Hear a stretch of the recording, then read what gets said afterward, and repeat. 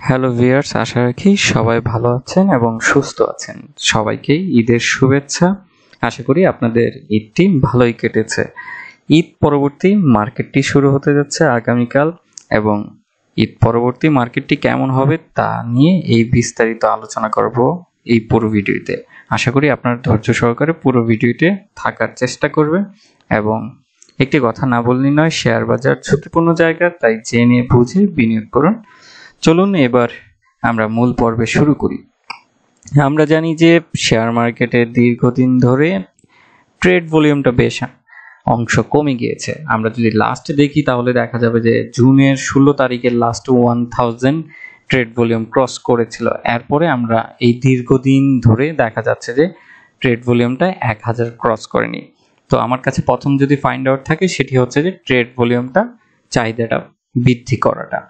এখানে আমার কাছে মনে হচ্ছে যে কিছু জিনিসগুলো কম হওয়ার ক্ষেত্রে থাকে যে দেখা যায় যে অনেক বড় বড় ইনভেস্টর থাকে যারা হচ্ছে যে জুন ক্লোজিংয়ে আপনার কারণে তখন ইনভেস্টমেন্ট করতে যায় না।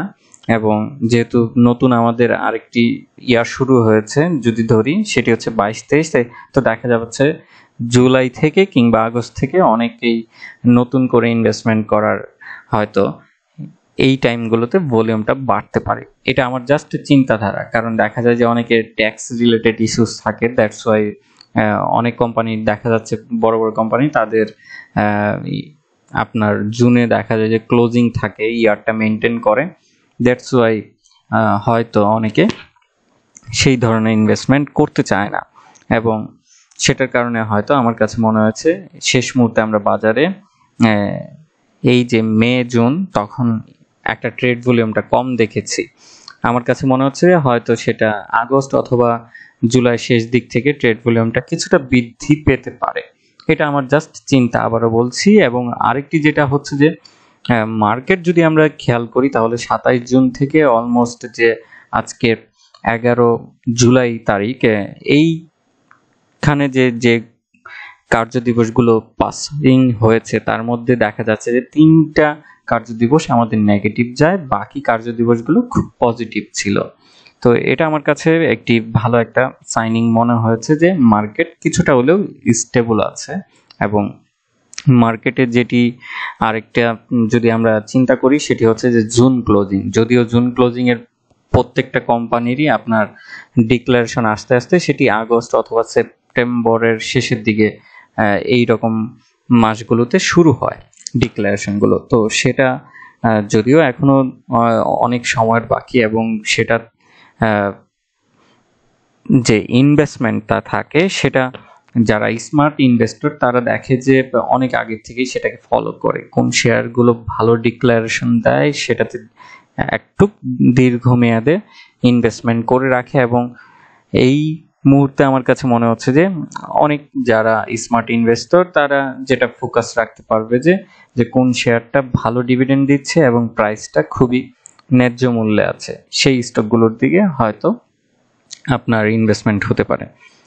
এই হচ্ছে যে আমার কাছে মনে হচ্ছে যে, ঈদ পরবর্তী কিছুটা আমরা হয়তো ঘুরে দাঁড়াতে পারি এবং আরেকটি বিষয় যেটি হচ্ছে যে মার্কেটের যদি আমি বলি যে আপনার পাওয়ার সেক্টর নিয়ে অনেকে আমাকে বলেছে যে পাওয়ার সেক্টর আদতে কেমন হবে? এখানে কি কোনো খারাপ ধরনের হতে যাচ্ছে কিনা? আমি এখন পর্যন্ত মানে যে অবস্থানে দেখছি, সেখান থেকে আমি বলব না যে খুব খারাপ অবস্থানে চলে গিয়েছে। তো এটা আসলে ওয়ার্ল্ড ওয়াইডই একটা ক্রাইসিস তো এই মুহূর্তেও আমার এটা নিয়ে খুব বড় আকারে মন্তব্য করাটা উচিত হয়নি, কারণ ওই ধরনের এত বড় কোনো সিচুয়েশন এখনও ক্রিয়েট হয়নি। হয়তো দেখা যেতে পারে যে আপনার আরেকটু সময় যাওয়ার পরে হয়তো কিছুটা ঘুরে দাঁড়াতে পারে এই সেক্টরটা। কারণ এখন আমরা দেখা যাচ্ছে যে লোডশেডিং খুব শহর কেন্দ্রিকে খুব এত বেশি দেখছি না। হয়তো গ্রাম অঞ্চলগুলোতে আছে বেশিরভাগ। তো, এটা হয়তো, আমিও এই অবজারভেশন থেকে এইভাবে মন্তব্য করাটাও উচিত হবে না। তো এটা আমার কাছে মনে হচ্ছে যে আরেকটু সময় গেলে তার বাদে বোঝা যাবে। আর অন্যান্য দিকে আমার কাছে মনে হচ্ছে যে ফার্মা সেক্টরটা কিছু কিছু শেয়ারের ভালো অবস্থান হয়তো যেতে পারে এবং আরেকটি সেক্টর রয়েছে, সেটি হচ্ছে গিয়ে আপনার টেক্সটাইলের সেক্ষেত্রেও আমরা জানি যে এই সেক্টরের ভালো পরিমাণের একটা রপ্তানি হচ্ছে এবং এই সেক্টরে যে সব শেয়ারগুলোই যে ভালো অবস্থানে আছে, তা না। এটা আপনাকে বুঝে শুনে তার বাদে চয়েস করতে হবে যে কোনটার ফান্ডামেন্টাল এবং ম্যানেজমেন্ট ভালো আছে। তো আমার কাছে মনে হচ্ছে যে সেখান থেকে একটা ভালো কিছু কিছু শেয়ার ভালো অবস্থান তৈরি করতে পারে। তো ওভারঅল আমি যদি বলি, তাহলে হচ্ছে যে ঈদ পরবর্তী মার্কেটটা আমরা কিছুটা হলেও আরেকটু ভালো সাস্টেনেবলের দিকে দেখতে পারি। সেটা হয়তো আরও পাঁচ ছয় দিন কার্য যাওয়ার পরেই বোঝা যাবে আলটিমেটলি এবং মার্কেটই কিছুটা এখন পজিটিভ ট্রেন্ডের দিকে আছে, আমার কাছে মনে হচ্ছে। শুধু আমাদের ভলিউমটা দরকার, কারণ মার্কেটে যদি ভলিউমটা না ভালো বৃদ্ধি পায়, তাহলে কিন্তু মার্কেটের যে পজিটিভ ট্রেন্ডটা সেটাও কিন্তু তৈরি হতে অনেক সময় লাগে। তো আশা করব যে ঈদ পরবর্তী আমাদের যে হয়তো পাঁচ ছয়টা কার্যদিবস যাওয়ার পরে মার্কেট একটা ভালো ট্রেন্ডি অবস্থানে যাতে ঘুরে আসে, সেটাই কামনা রইল।